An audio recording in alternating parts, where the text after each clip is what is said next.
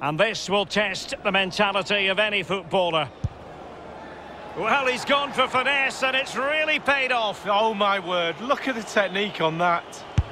Well, he couldn't quite hit the desired target. Well, he's hit the beans on.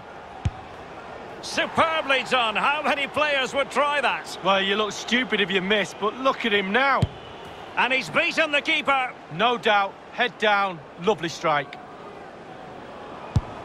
And he's been denied from the spot by the post. Well, the goalkeeper's got three friends, two posts. Oh, he saved it! Well, the goalkeeper guessed, but he guessed the right way. Good save.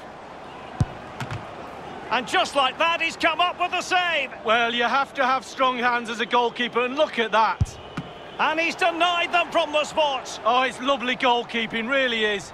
And now a heaven-sent opportunity to win the match.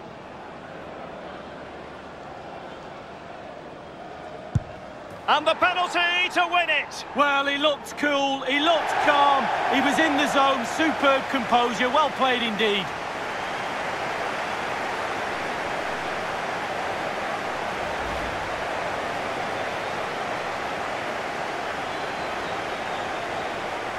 Well, let's take another look at that goal, shall we?